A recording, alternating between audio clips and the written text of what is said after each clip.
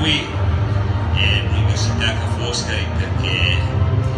gratuitamente mi hanno fatto un grande studio, nel senso che mi mancava molta della, della documentazione che loro hanno fatto e a, a conforto di tutto il lavoro che in cinque anni io sto portando avanti in Italia. E io sono partito nel 2013, ho, ho cominciato a girare qui largo, cominciato a mappare delle cose, la mia deformazione professionale precedente che lavoravo nel marketing commerciale nella grande distribuzione ovviamente mi ha portato a dire beh forse cominciamo a fare qualcosa per sto cavallo sul territorio visto che a me piaceva ho cambiato vita sette anni fa. E da lì ho cominciato a ovviamente mettendo insieme perché quando vai in giro eh, non è che parcheggi la macchina hai un cavallo devi pensare a lui e oltre a me anche la mia pancia insomma no? mangia lui devo mangiare anch'io allora ho cominciato cartografia ovviamente viaggiando molto nella mia vita precedente di lavorativa ho fatto mi, mi tracciavo dei percorsi così a spanne e ho cominciato a lavorare nel territorio insomma eh, 2013 ho fatto la prima fiera cavalli chiamandole Ipostrade e Equiguai provocatoriamente perché quell'anno insomma con Italia c'era un po' di casino. Però insomma la curiosità era tanta. L'anno dopo invece ovviamente ho cambiato tutto il registro. Ho brevettato dei marchi. Eh, lungimirante ovviamente perché il mio obiettivo non era quello di fare una cosa del, dell'orto ma navigata e creare tutto un discorso turistico. Cioè quando si lavora col turismo non è che si lavora con l'amico della porta accanto ci sono dei requisiti di legge ci sono dei requisiti di sicurezza ci sono tante norme che in Italia ci sono. All'estero non è così ma siccome noi siamo qui dobbiamo rispettare queste regole. In queste regole ho cercato di trovare il mezzo più comune, più, più, semplice per cercare di farlo capire anche a questo mondo, perché non è così facile trovare dei presidenti o dei proprietari di maneggi o turismi che capiscono poi qual è il fine di quello che si sta facendo. Insomma, sostanzialmente poi ho fatto il Castello del Gusto a sempre Fiera Cavalli 2014, abbiamo fatto il, il padiglione del, del turismo, che è stato un mezzo flop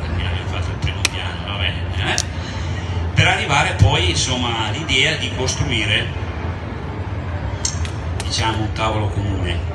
e cioè con l'ente fiera abbiamo fatto una convenzione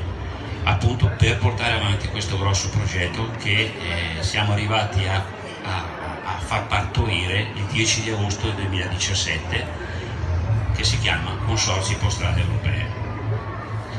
perché ipostrade? Perché ci sono delle norme internazionali che regolano le ipovie e basta.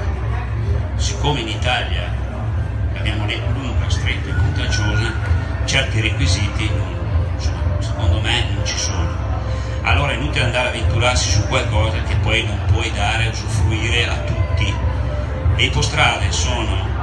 lento, passo lento, vicino a casa, percorsi da tre ore a qualche giorno, organizzati dal centro di riferimento. Io personalmente ho fatto più di 1500 km, raggruppando ovviamente strutture all'interno dei percorsi che sono i consorzi del vino, le strade del vino, gli agriturismi, bed and breakfast, le aziende produttrici piccole, medie, un lavoro da 0 a 1000 metri di altitudine, cioè la pedemontana italiana, che oggi è Veneto, domani è piemontese, perché eh, ritengo ne sono passati qualche centinaio, pur essendo uno che lavora con i cavalli da 7 anni, eh, fortunatamente eh, è difficile organizzare un percorso a meno che non sia già a 1000 metri e l'idea poi per, insomma, facendo appunto il manager prima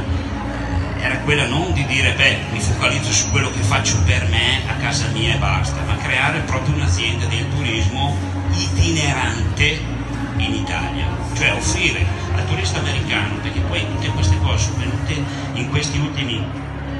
tre anni, per infatti il turista mi chiedeva, ma io posso andare a fare un giro una giornata là, posso andare a fare una giornata di là? Allora lì ovviamente ho messo insieme una serie di maneggi. Attualmente siamo 5 maneggi in Italia, copriamo 4 regioni e ci siamo posti degli obiettivi, ho creato un gruppo di lavoro, ovviamente sempre con la vecchia scuola dei 4 Agamenes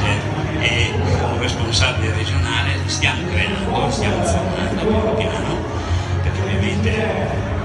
a casa mia si pasta mia fritto senza moneta e con le ciappe non si fa niente. Allora creiamo un po' di, un po di cose insieme. Comunque l'idea era quella di creare una rete di impresa. Purtroppo la rete di impresa con i maneggi, con la SD in Italia, perde i requisiti della 398 e io sinceramente da imprenditore, passatemi insomma da cavallaro, ho detto no, perché la, la struttura ce l'ho anch'io, se non fosse così avrei già chiuso,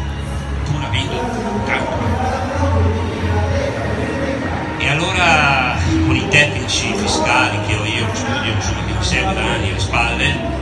eh, ho detto dobbiamo trovare un'altra soluzione. E la soluzione è stata abbiamo la rete di impresa strutturata come un consorzio. Cioè il consorzio è